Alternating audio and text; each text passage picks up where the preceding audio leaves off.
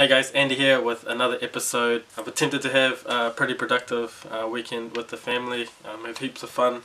Uh, yesterday I went to the playground.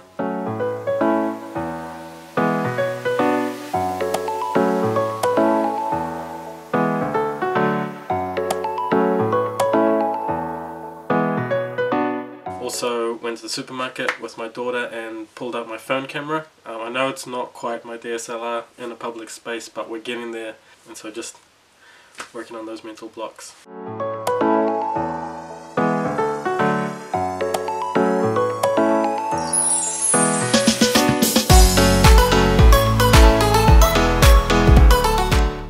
Since releasing um, a video 11 days ago called Cody Wana Made Me Do This, um, I've been a little bit paralyzed uh, with my shooting, been working on a concept for a whole week and it's just blown way out of proportion and yeah, I've I just really want to talk about this. I just yeah, I started thinking about what you guys wanted to see instead of what I wanted to make.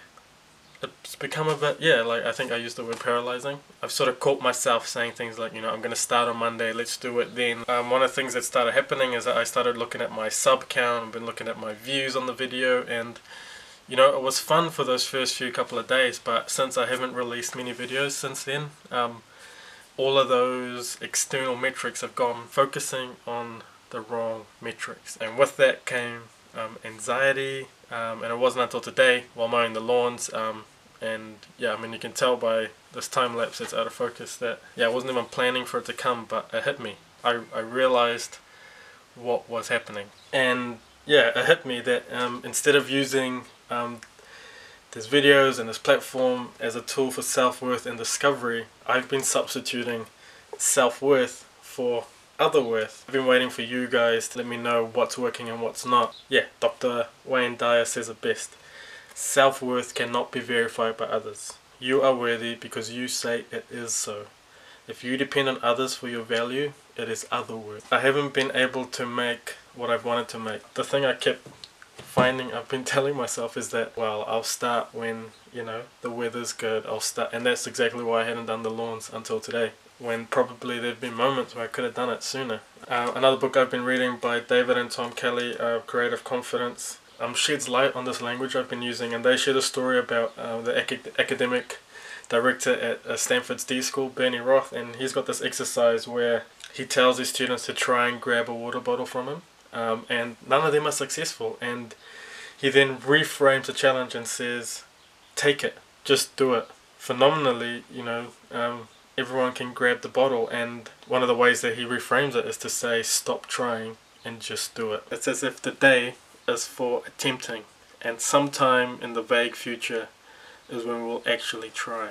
I'm gonna start on Monday. Just won't cut it. What can I do? What can we do um, to change this and I'm going to be as lazy as a fox and borrow again from David and Tom. They've got five action catalyst points that will be super helpful to implement. So first one um, is get help. Sometimes you know you might need that friend who's a little bit more confident um, to be standing there with you while you hold the camera. The second one is create peer pressure. I've actually used this one really really well um, in the video that I made um, Cody Wana made me do this. I actually put some stuff up on my Instagram stories and I made my followers make me accountable. Um, yeah, and the second one, which is probably connected, is gather an audience. And lots of us on this platform um, are doing that. We're trying to find an audience, we're trying to find people um, more interested in the thoughts and ideas that we bring. Um, the fourth one is allow yourself to do a bad job. There's been lots of talk about you know quantity versus quality, and I think you don't get to better without doing okay. Yeah, Casey Neistat says don't let good get in the way of perfect. So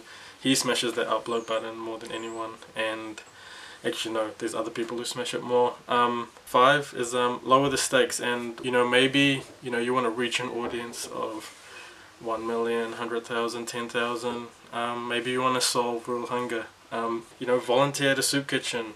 Make a 5 minute video instead of a you know 90 minute feature by focusing on what you can control which is the number of videos you make um, or ideas that you share with the world it's a real good way to lower the stakes if we focus too much on sub counts and views and and all of this sort of thing um, we give control over um, we have no control over our creative process and that's the whole point of this video for me is that I want to use this mindset shift this this action and, and active participation. Um, I want to control what's meaningful and worthwhile for me to do and um, I can only control the number of videos I make. My gut instinct is that by focusing on the stuff that I can control, I'll have less anxiety about my creative process. Okay, um, we're going to wrap the video up there. Um, I hope you learned something with me um, and all I can say is um, I'll see you tomorrow.